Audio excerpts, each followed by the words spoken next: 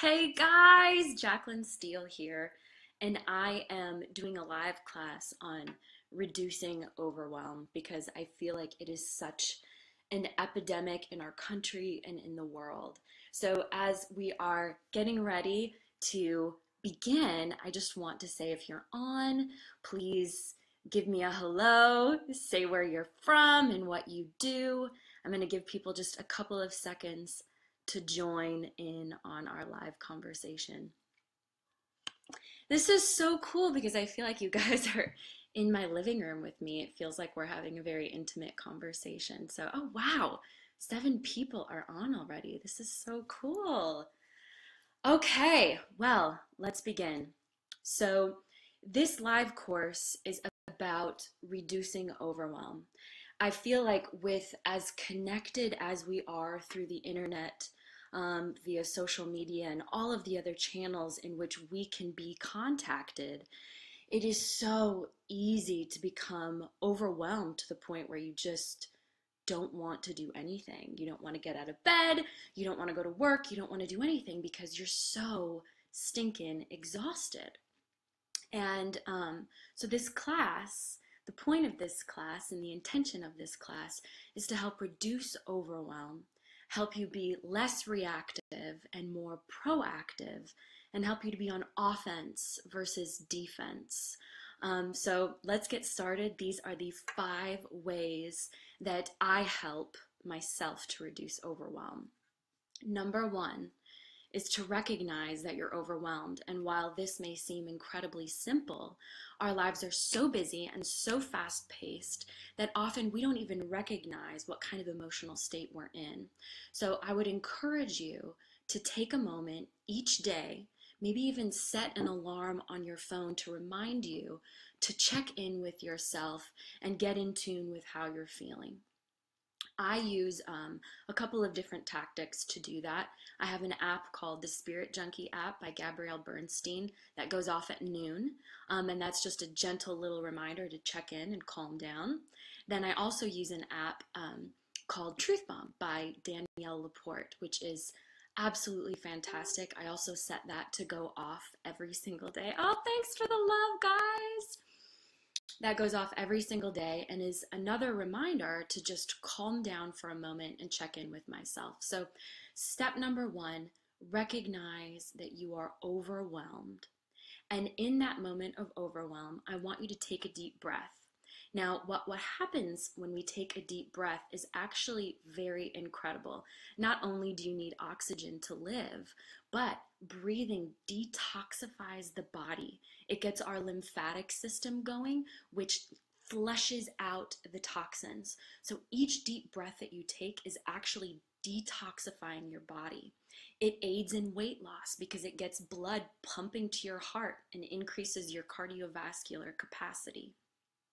It eases pain, it eases stress, it um, makes you feel very calm as you breathe deeply and inhale and exhale repeatedly. So it's so, so, so important to deep breathly. I cannot stress that enough. So recognize that you're overwhelmed and take a few deep breaths. That is step number one.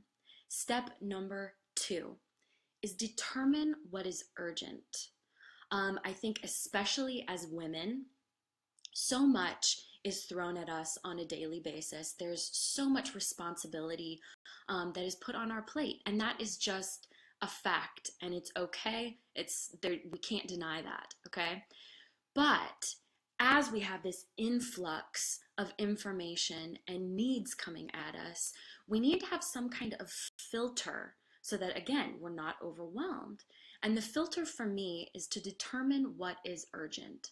So, step number two determine what is urgent. There are always going to be things that are super important and have a deadline, and there are always going to be things that aren't quite as important and don't have a deadline. And you don't want to confuse the two because it's when you confuse the two and you've got a to do list of 30,000 things and 25 priorities that makes life completely overwhelming. So, let me give you an example. Today, my priority is getting on a live chat with you guys. That is an urgent thing. So, my entire morning, was spent in preparation of getting on for this live conversation.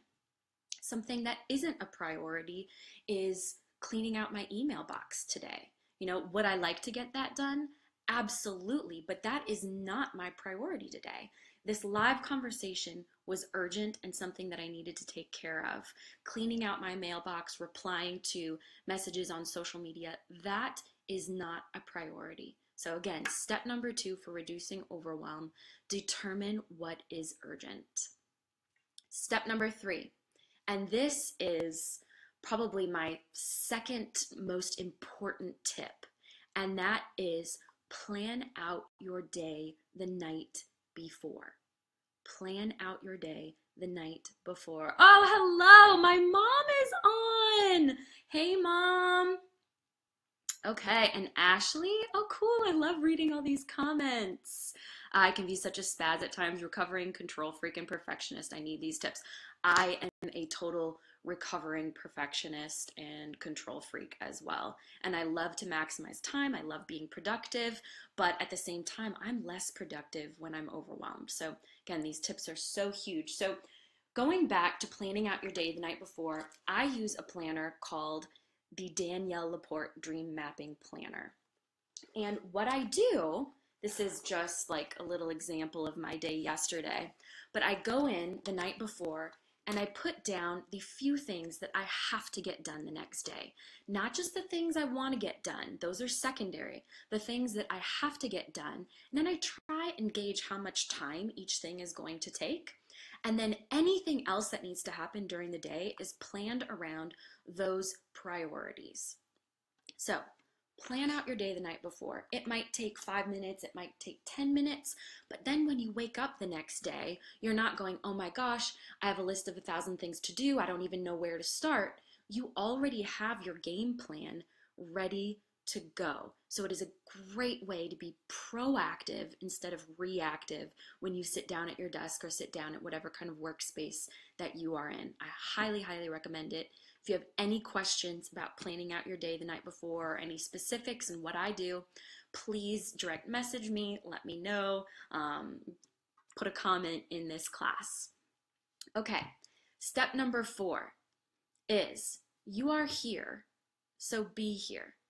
If you are overwhelmed, there's no point in denying that you're overwhelmed. Running from being overwhelmed isn't going to solve the problem. So, as intimidating as it could be, as scary as it could be to face overwhelm, it's super important that you address it and that you come up against it and you say, okay, I got to deal with this. I'm not going to push it to the side. I'm not going to medicate it. I'm not going to distract myself anymore. I am going to get down to the nitty gritty. I'm going to be here. One thing that my mom told me growing up was if you can't get out of it, get into it. And that is something that has stuck with me my entire life because it's very applicable. There are always going to be things that we don't want to do. But if you can't get out of it, get into it, which leads me right into step number five, which is the last step for reducing overwhelm. And that is take action. Um, this also seems like such an obvious step, but taking action is the key to reducing overwhelm. And what I mean by that is when you write down your priorities, when you write down your to do list, you actually do them. It's so easy, especially in our incredibly busy world, to be distracted or to allow things to slide. But if you don't want to be overwhelmed constantly, you have to take action every day. And by no means does that mean you shouldn't take time to relax or engage in self care or do whatever it is that you need to do to be a healthy and happy human. But if you want to live a life of productivity and a life of successful ventures, then you have to take action every single day. Tony Robbins said something to the effect of We overestimate what we can do in a day, but underestimate what we can do in a decade. And so, that being said, taking action every single day toward your goals is going to get you there faster than anything else on this planet will. I am a huge advocate for um, meditation and envisioning and creating vision boards and making things a, a reality by by thinking on them and setting intentions.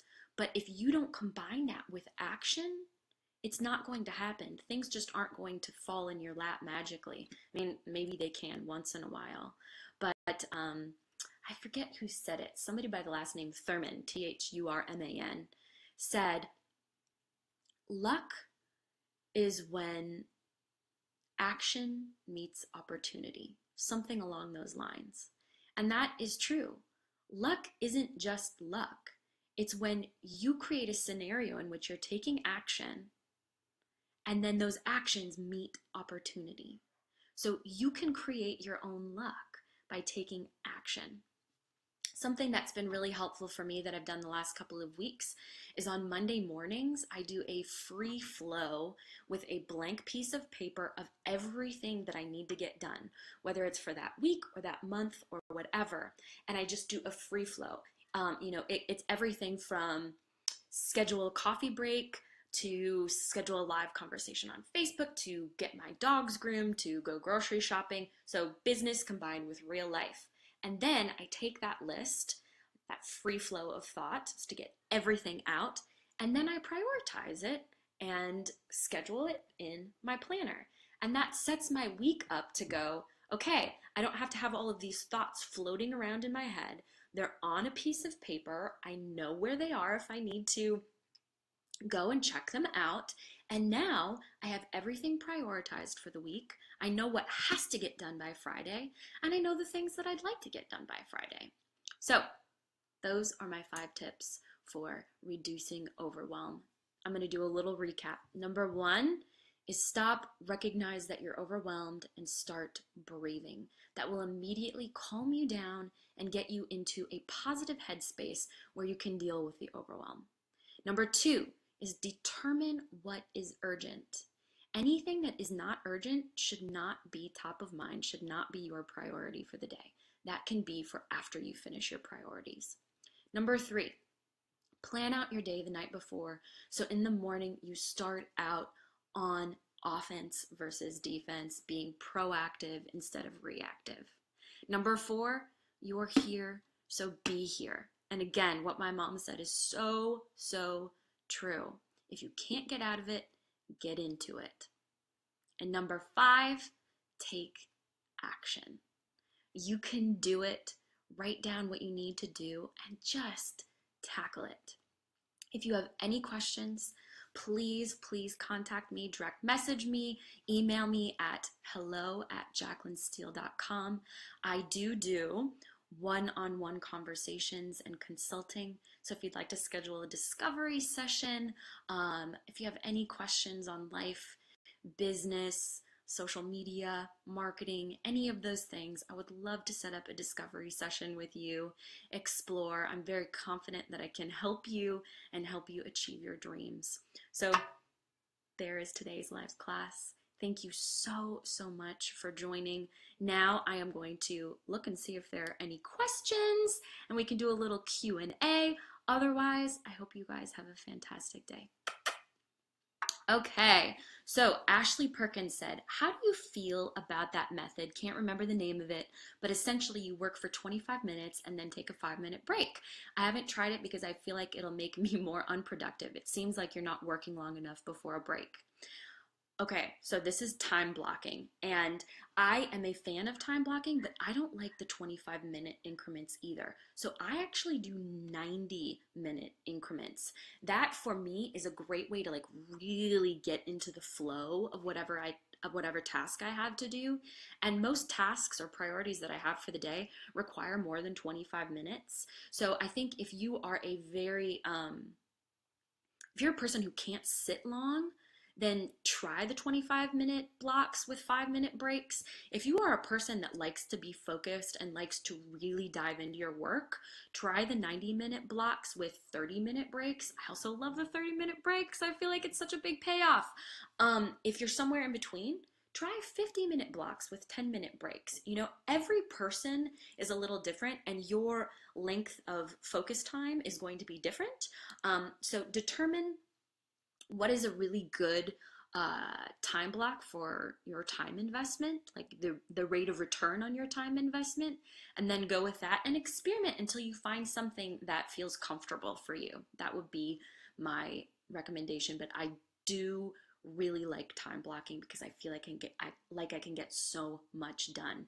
And then also it reminds me to take breaks during the day. Because I know for me, and I'm sure I'm not alone in this, if I work an eight or 10 hour day and I don't take breaks in between, by the time that day is over, I am so exhausted. I'm exhausted into the next day. So I think pacing yourself, just like a runner would in a marathon, they're going to refuel by having healthy drinks and snacks and stuff. You need to do that with your mind. You need to take a break and refuel and re energize. Okay, let's see. Uh, Wendell said, Thank you, Jaclyn. Hope you have a great day too. Your advice and wisdom is spot on. Oh, thank you, Wendell. I appreciate that so much. So, um, if you guys have any other questions, let me know. Um, my plan is to do a live Rebel course every Wednesday. So I would love to hear from you guys if you have topic questions, topic um, suggestions. I would love to hear them and I would be happy to touch on them uh, if they are an area in which I know a lot. So, have a wonderful, wonderful day, light and love and peace. Bye, guys.